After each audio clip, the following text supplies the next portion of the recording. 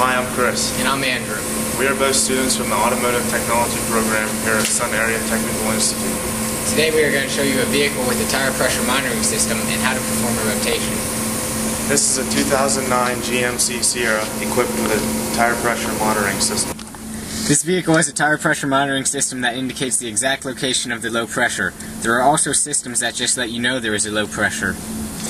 If the light stays on, the system has a low pressure. If the light blinks, there is a failure in the system. We've shown you what a driver will see through his dashboard concerning the tire pressure monitoring system.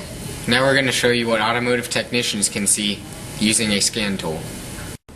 While using a scan tool, the automotive technician can see the pressures of all four tires and the status of the sensors.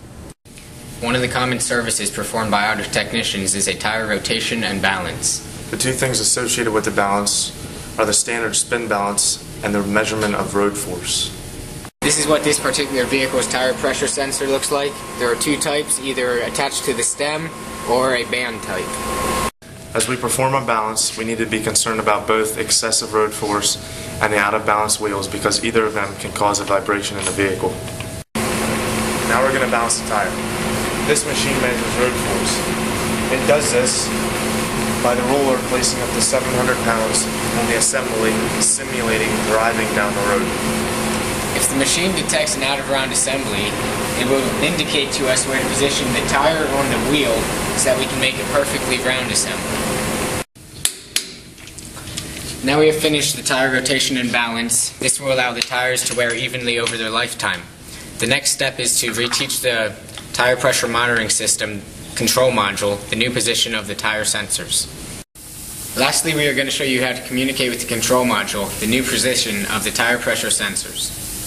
First, we need to put the control module into learning mode. We do this by pressing lock and unlock at the same time on this specific vehicle.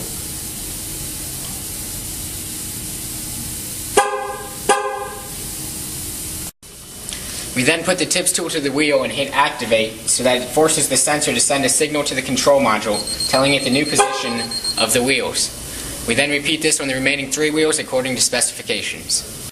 Thank you for taking the time to watch our presentation. We hope that you have learned something new about the tire pressure monitoring systems and the services associated with them. Thank you.